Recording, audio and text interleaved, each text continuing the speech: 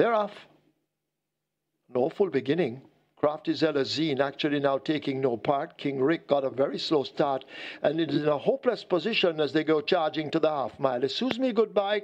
Challenged now by Time Keeper as they're about to arrive at the half mile and go rushing into the turn. And now Time Keeper gets that lead from Excuse Me Goodbye. Last dance moving quickly down into third. Edina Marsh is a further four and a half lengths back.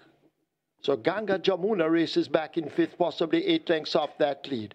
Anika Bell in the red cap races next ahead of Nikita B. Uh, JJ King is next and the hopeless King Rick too far away to land a blow as the field will come thundering into the top of the lane in the first event. Time Keeper out in front, out on a stroll at the moment, leading up by some three or four lengths. Last dance now put to the stick and asked to reel the leader in, but the leader is fleet of foot and will arrive at the furlong pole with a four-length advantage. Over against the rail, that's Anika Bell. Edina Marsh in the blue cap races more toward the center, but can they catch Time Keeper? Timekeeper? That's the question to ask. Enjoying a five-length lead. It is timekeeper out in front, and timekeeper and Shavon Townsend will take the first by maybe four. Anika Belli second, last dance third, Edina Marsh fourth.